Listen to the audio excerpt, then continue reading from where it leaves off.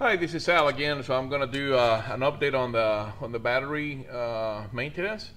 Uh, I turned off the um, uh, the charging from the solar panels yesterday. Uh, actually, I didn't turn off the charging from the solar panels. What I did is I turned the breaker back on to put the house back on uh, commercial power. so right now the breaker is on where it says MagnaSine. And when I turn it off, it simulates a power failure, so it transfers automatically to solar power. Just to see what the state of my batteries were. Uh, it's really hard to see here. Uh, well, I guess I better not show that, but uh, at any rate, uh, what I wanted to show you was now that the batteries are fully charged, let me go back over here, you can see that they're at 27.8 uh, volts, and they are full charge, there's zero amps uh, being drawn out of it. So now if we go to the battery yesterday that was really low on specific gravity and we take another specific gravity reading from it, we'll see that they are now good. So um, these batteries are in fact pretty good. Uh, I'm gonna put them through a cycle of uh, um, equalization uh, charging just to make sure that uh, that I take care of any uh, particular sulfation because the uh, the battery life saver that I have here uh, is not strong enough to handle that entire uh, battery pack which is made up of 10 um, deep cycle batteries. So what I did is I'm gonna combine I combined both of these both of these um, uh, trays together and uh, both of these battery banks together and they're in parallel with each other 24 volts here 24 volts down there.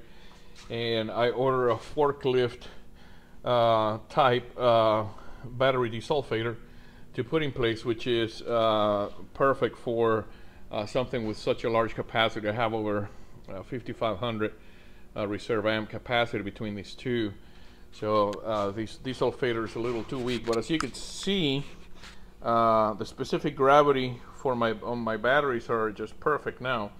Uh, so now we'll grab the uh, the cap one more time, and uh, we'll put it back in here. Push it down, lock it in place. Yeah, this is getting in the way here. There we go. Now we'll go ahead and lock it in place. And now they're good to go. So I should be able to now uh, go ahead and uh, turn off the breaker here. And we should be able to see this go into the, the house go back to uh, full solar power. And what I'll do is I'll go through a cycle or several cycles of uh, uh, discharging at night. I'll come in in the morning. I'll turn the breaker back on which will force the built-in uh, battery uh, charger here.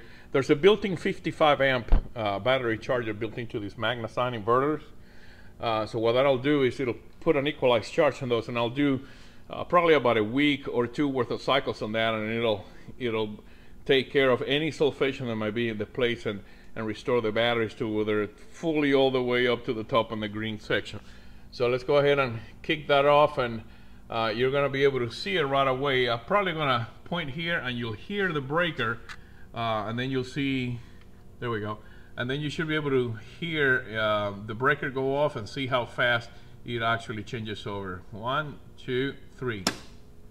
There you go, it's inverting right now. So uh, nobody in my house ever noticed that the power went out and that we went from a, a power failure to uh, to the point where we're inverting. So right now, uh, all the circuits in the house are drawing 16 amps uh, from this battery bank at 27 volts.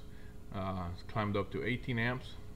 And it'll do, I'll do that until I get up tomorrow morning. When I get up tomorrow morning, I'll turn that breaker on again, force this guy to go into an equalized uh, charge, which will, uh, which will force any sulfation on the plates uh, to go away until I get my new uh, forklift size uh, battery desulfator put in place and then I'll keep that one in reserve for my regular vehicle batteries. So that's the uh, that's the update. Uh, thanks for watching. I hope it's been helpful to you and I hope you learned you know what the specific gravity does when the battery's in you know or what it tells you about the uh, state of charge on a battery and the condition of the uh, the overall condition of the battery so thanks for watching and God bless everybody